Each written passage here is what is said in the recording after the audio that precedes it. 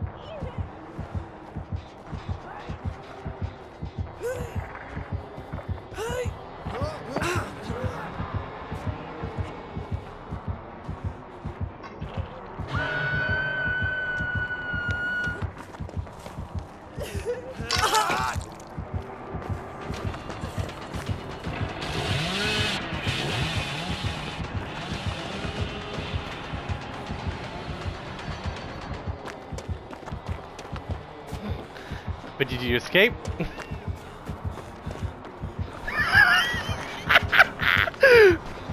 but you escaped, my boy.